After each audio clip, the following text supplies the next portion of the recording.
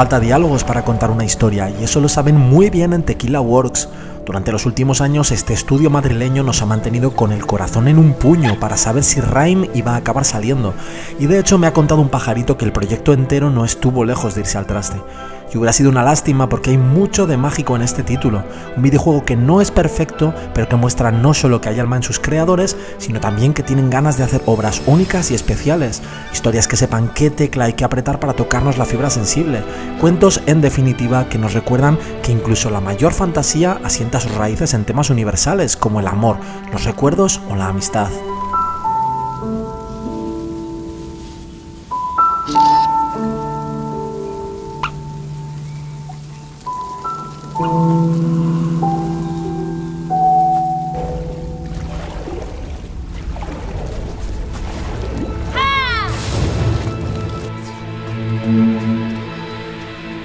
Algo que está pasando últimamente con los videojuegos y es una cierta tendencia a tocar temas emocionales con respeto y sin caer en lo fácil.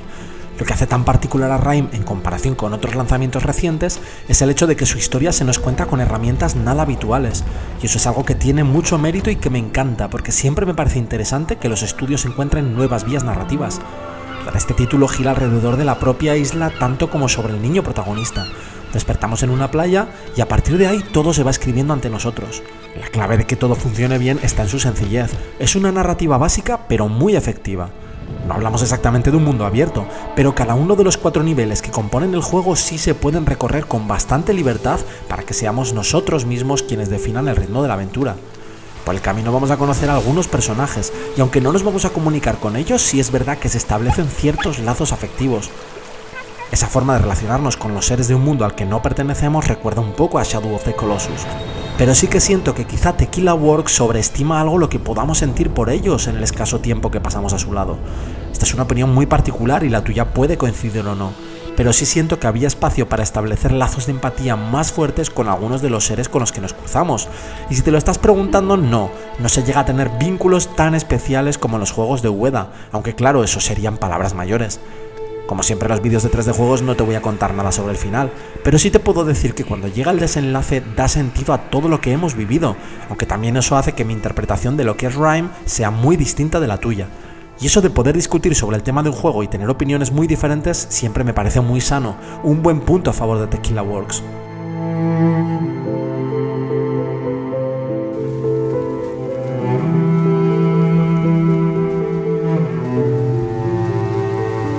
Tengo la percepción de que con este videojuego sus responsables querían que tuviéramos un viaje placentero en todos los ámbitos, en lo sensorial desde luego. Más adelante te lo comentaré, pero estética y sonoramente es una propuesta muy bonita. Pero además después de terminarlo dos veces, creo que no han querido tampoco que nos frustráramos en ningún momento. La mezcla de puzzles, exploración y plataformas está conseguida de manera inmejorable. Nunca he sentido que estoy haciendo demasiado de una cosa o muy poco de la otra. El equilibrio en este sentido es perfecto. Sin embargo, buena parte de lo exitoso que es el ritmo tiene que ver con lo fácil que es el videojuego. No hay combates, decisión muy lógica, así que el único reto a la hora de que se interrumpan nuestros progresos es el de los rompecabezas. Hay cosas realmente ingeniosas en los puzzles de Rhyme, ideas muy buenas y sorprendentes, como los juegos con la luz y las sombras, o el empleo de la voz del protagonista para crear algunos momentos mágicos. Sin embargo, siempre he sentido que no hay casi desafío, que todo es demasiado fácil. Cada área tiene su propia identidad en las pruebas, sin embargo se acaba cada uno de sus capítulos y siempre sientes que los retos estaban justo a punto de explotar, que si el nivel dura media hora más y sigue la progresión de dificultad lógica, estaban a punto de convertirse en brillantes situaciones que nos hubieran puesto a prueba de verdad y que hubieran sacado lo mejor de nosotros para poder resolverlos. Ahora, tal y como están, si te atascas en un puzzle es sencillamente porque no estás mirando en la dirección adecuada, porque en realidad no son nada difíciles. Parece claro que el juego hubiera sido mucho mejor si todas esas ideas tan estupendas se hubieran desarrollado un paso más allá, solo un paso más allá. Pero esto tiene dos buenas noticias. La primera ya te la he contado, y es que así la campaña tiene un ritmo fantástico. La segunda es que es un juego para absolutamente todo el mundo, ya que todo dentro de él es muy lógico. No hay tutoriales, no hay voz en off, no hay nada que pueda estropear o cortar el sentido de la exploración y el descubrimiento.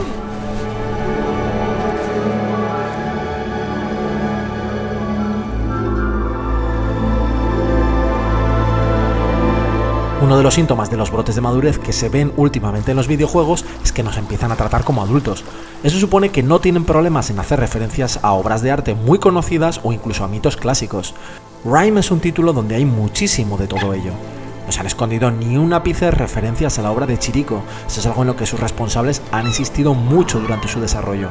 También es patente el empleo de la luz de Sorolla, algo muy acertado teniendo en cuenta la relevancia que tiene el sol y la oscuridad en el transcurso de la campaña. Lo único que es cierto es que el conjunto funciona y tiene muchísima personalidad estética. La verdad es que por el propio diseño del mundo todo es mucho más bonito cuando el colorido es máximo y sus escenarios imponentes y luminosos como en el arranque. Pero incluso cuando estamos más encerrados en estancias lúgubres hay mucho que disfrutar en el aspecto visual del programa. La pena es que el juego en consolas tiene una tasa de imágenes por segundo bastante irregular, pero como siempre en estos casos confiaremos en que poco a poco y a base de parches acabemos viendo algo mucho más estable. En cuanto a la música, esta cierra el apartado audiovisual redondeándolo todavía más al alza. Ya te hemos dicho que no hay conversaciones. Sin embargo, la música es la voz no solo del protagonista, sino también de la hermosa isla. Una banda sonora formidable que acompaña de la mejor manera posible a nuestro viaje.